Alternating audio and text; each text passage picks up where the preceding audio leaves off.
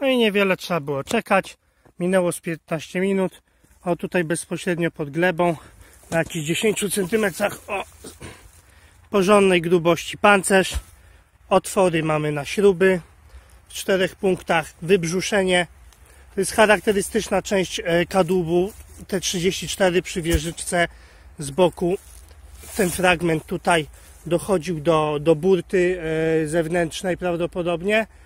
E, Od tej strony zresztą to będzie widoczne na zdjęciach modelu później, który załączę z filmem. No, także, także tak mniej więcej 60 metrów od drogi głównej, kilkadziesiąt metrów od miejsca, gdzie wychodziły pozostałe części do T34.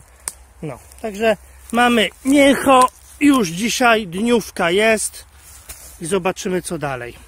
Pozdrawiam serdecznie, miłego dnia.